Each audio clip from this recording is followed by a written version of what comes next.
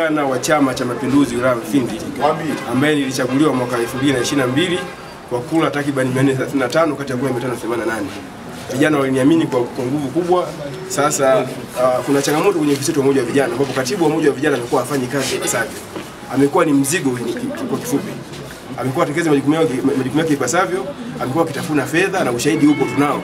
Na kuna siku moja alikuwa akija wakaguzi toka taifa hapa akawakimbia. Eh? Lakini tulikuwa tulikuwa tuna miradi. Ile miradi inaingiza fedha lakini matokeo yake ile miradi ilikuwa ikitumika vibaya. Tuna mradi wa mchanga kule Lungema ambao tulikubaliana kwenye- kwenye vikao kwamba ule mradi zi- uh, fedha ziingie kwenye control number ili tuweze kuziomba, lakini zimekuwa zikichukuliwa mkononi.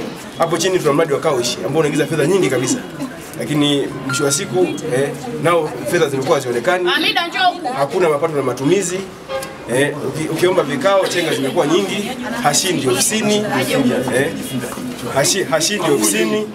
Unaona? Kama hivi saizi tumefunga ofisi, ya yupo ofisini na leo ni siku ya kazi. yeye ni mlevi tu, muda wote mchana anakunywa pombe, unaona, lakini amekuwa akiwaambia vijana kwamba yeye hawezi kutoka Mfindi hapa, hakuna kumtoa. Sasa sisi sisi hatuogopi, na sisi ni wakulipoli. chama kinatutegemea sisi kama vijana, na sisi kama mmoja vijana tumefunga ofisi hapa, hatuhitaji hatumhitaji katibu huyu, Tunataka katibu watuletee katibu mwingine ambaye atakuwa maslahi ya vijana. Naje katibu mkuu tunapata solution. ya kwa hiyo sisi kama vijana wa Mfindi niseme tu kwamba, lakini pia zilikuwa zikitolewa fedha mbalimbali na chama kwa ajili ya vijana kwenye matukio kama Tunapigwa.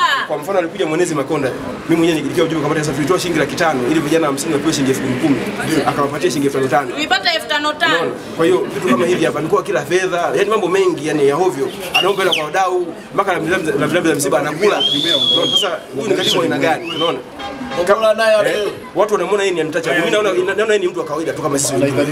Kwa hiyo ifike mahala sisi kama vijana eh, tu- tu- tu- tumeamua kama hivyo kwamba tumhitaji, tumefunga ofisi kwa ujasiri mkubwa eh, na kwa sababu amekuwa akifanya lobbying mpaka kwa nyumba kama wachezaji baadhi wengine wamekuwa wakiona mahusiano naye, wengine ndio hivyo.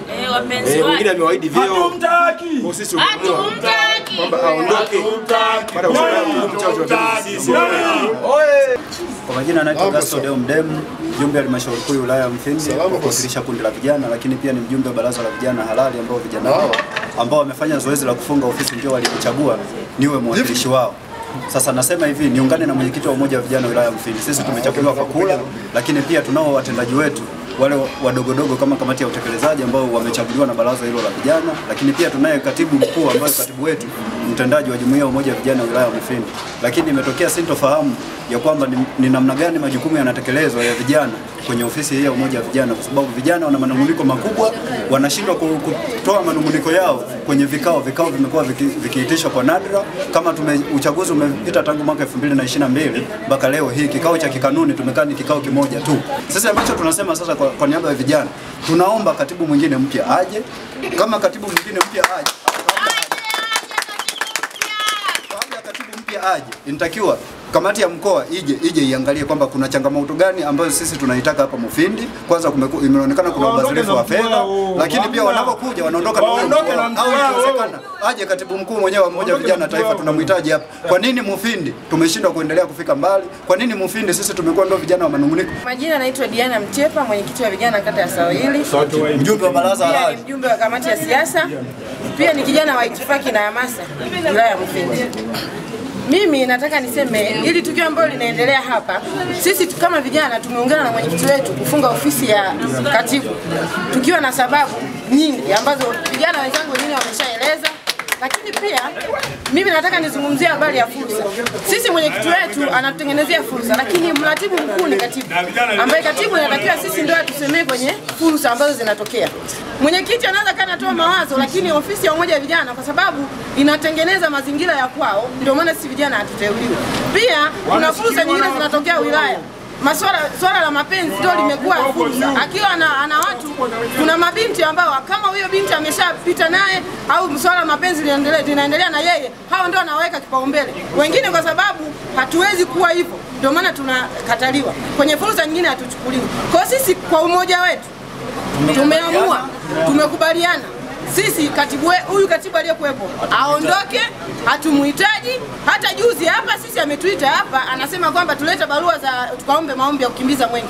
Matokeo tumetoa barua, tumemkabidhi yeye.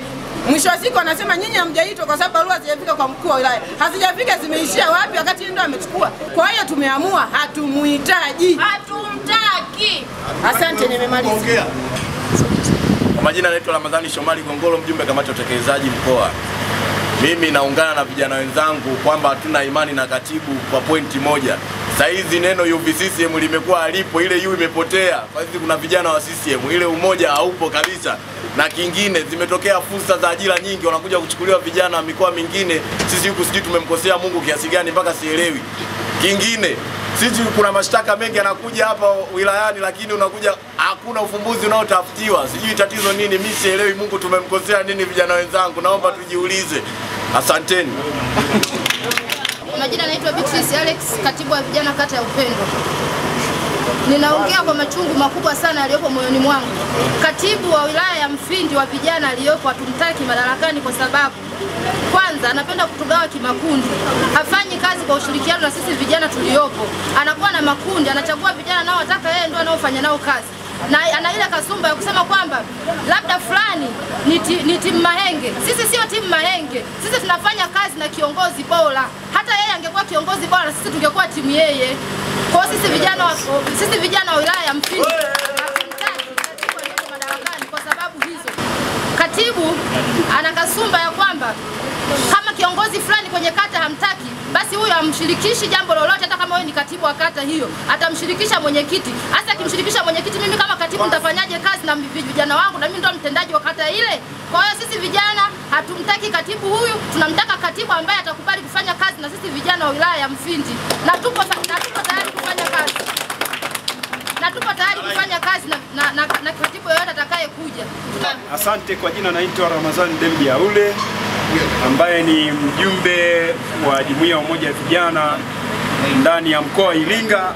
Mfindu kilikologa, we kazi yako ni kunywa tu, biashara imekwisha kama hivi. Kwa hiyo nataka niseme la mwisho, ili hapa ili ili zege alilali. Asanteni sana wewe. Vijana, vijana tayari, tumewe